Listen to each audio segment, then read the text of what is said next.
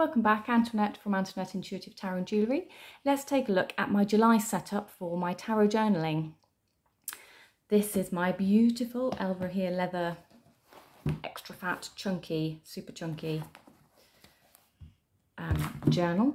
Yes, it has all of those in and they are full size Leuchtturms, journals, um, books. So it's just so cute. It's not a pile of messy books on the side as it would otherwise look. So this is just, I love it. Yes, I have to take the stuff out to write in them, but that to me is part of my ritual. So I've already gone ahead. This is the string that this one sits on. So here's my Stalogy A5 that I'm now moving into from my standard traveler's notebook. Just move those out of the way. Um, I have got a plastic cover on this one just to protect the yellow from getting dirty. Um, these were just dirt, dirt cheap from Amazon, A5 ones. Um, what do you need to know about this? So I have popped in here my word of the year, the things I was cultivating, where I get journal prompts from. And started with July. So um, I decided I wanted to work with less decks per month. So I listed out my three, well, two tarot decks primarily, and then um, the Oracle deck that I wanted to work with.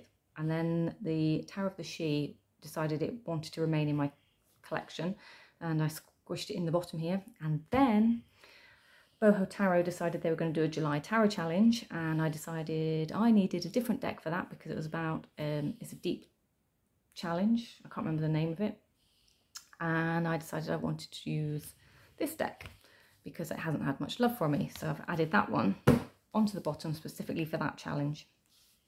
As you see, I have a space to put my new moon intentions and my full moon intentions and just simply washi tape and stickers so I can work my way through the pile of things that I have. Um, because it's July, I've already started this and for July or every month, I have been using the month ahead spread where I pull a card for each week. And it doesn't matter where the week starts or the month starts, sorry, in the week. So Thursday was the first to Sunday the fourth today. So that was week one to me. And then um, that's why I've got five weeks for July. I don't know where the 31st of July ends, but 26th to the 31st is how that one finishes. And I do like to pull um, a couple of oracle cards. Again, this is the one oracle that I've selected to use this month. And then a little bit of um, notations about how my reflections are with what's going on here.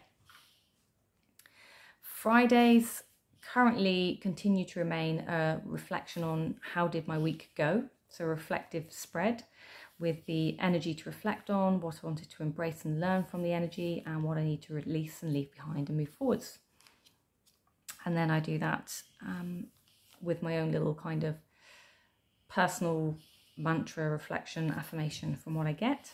And all these little pictures, like so I've got feathers, pentacles, poppies, swords, um, were all images that came out of the cards that I was using. And for this spread, I used um, the Crow Tarot, which I've shown.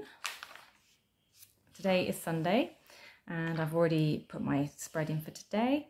So um, I pulled my cards, which were actually from the Everyday Witch. So these were my cards, and I had the uh, base energy, which was the Emperor. And I normally do my key for my tarot, but instead today I've written it on, but I actually decided I wanted some colourful cards. So I just pulled out from my sticker sheet um, some cards which obviously don't match, but they are the standard, what we'd expect, study deck style images. And then my little affirmation thoughts about the entire read to remind me. I also have done my card of the day here. So I've pulled my card, I've put my key in and um, just put some keywords that I felt went with it. A couple of cards actually fell out and collectively um, they gave me both the words recognition and reflection, although it was a Three of Swords, which was still to me a reflective sort of card. Um, and recognition, by the way, isn't necessarily recognition for me, it's recognition of others. Before you all start saying that's not a recognition card, although it can be, depending on how you look at what you're recognising. So as I said, this is the A5 Stalogy. I haven't pre-laid any of my days up this time, but what I have done is pre-stickied some um, pages with, you know, just stickers and washi tape that I have lying around. For some reason I have a coffee washi tape. It came in a set, so I'm just trying to use it up because I'm not actually a coffee drinker. Um, I'm British, so it's tea. uh, so all these coffee stickers I'm trying to use up. I do wish they said tea. So I've just pre-stuck a few pages ready to go. And um, that way, if I choose to do a spread, so say the tarot challenge comes up, I can just use the next page available. And that's probably how I'll work. So um, I'll just work the challenge into my standard kind of normal planning and then if the new moon spread comes up I can work that in as well rather than being stuck and getting through and thinking oops I didn't leave space for that one so I quite like the idea of that the only other thing maybe useful to mention to you guys is so I've shown this this is the key. So because this is like a Tomo paper these are the pens that I tried out. Um, it turns out the Zebra fountain pen, the Staedtler microfine liners, and the dual tip art marker, fine end, not thick end, my standard biro, and my Mildliner highlighters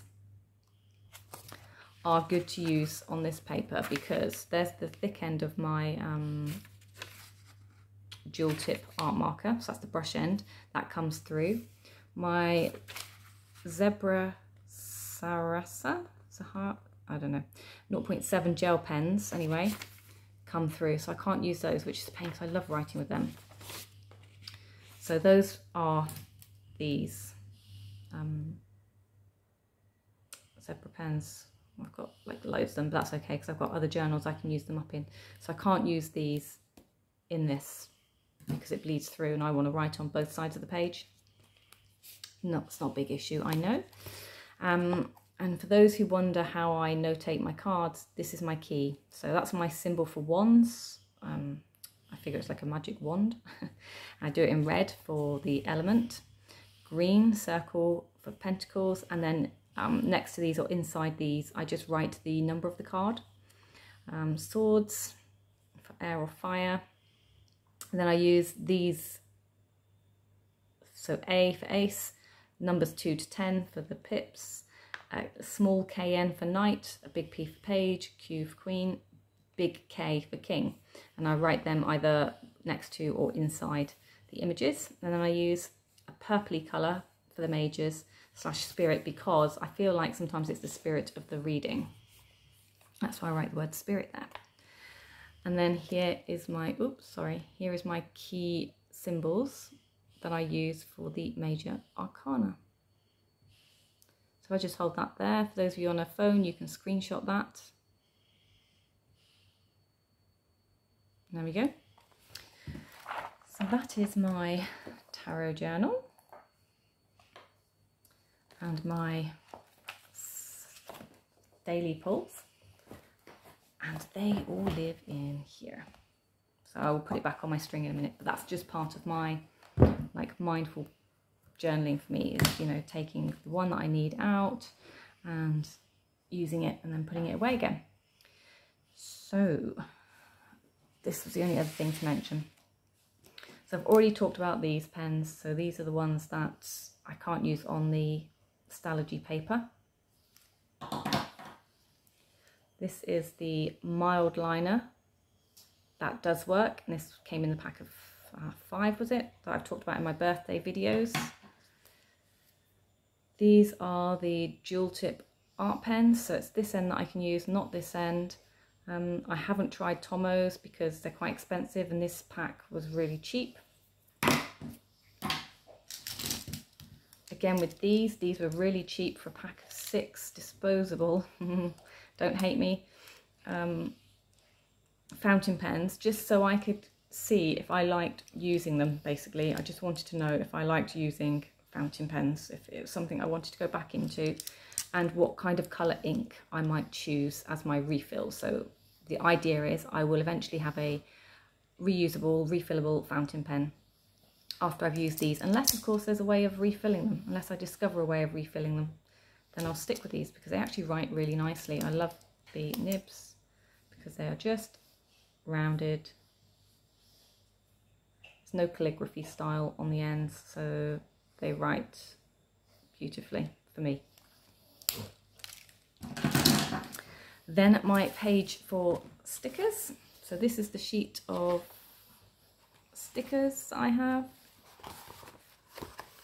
So you see there's just lots and lots and lots and lots of stickers that I got from somebody advertising on Facebook. So I ordered them, really pleased with those. I think I called them stickers, tarot stickers, but actually I think they're called magic notes. I'm sure if you type that into Google, it comes up.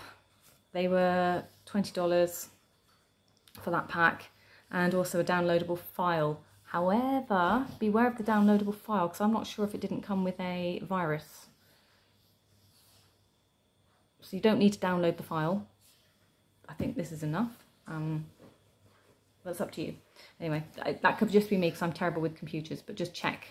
Should you get that email and you download it, just put it somewhere, quarantine it and check it before you do anything with it. I'm not saying that it's the sender's fault, but you know, you, you never can tell sometimes, can you, when you um, upload and download things. Right, that's everything I think I was going to talk about. My decks, I'll um, show those more at the end with the rest of my stuff, hopefully when I go through my journal. I will do a separate video in a minute about my grimoire, so please keep an eye out for that one. Have a fantastic Sunday. Enjoy the rest of your day and I will see you in the next one. Bye.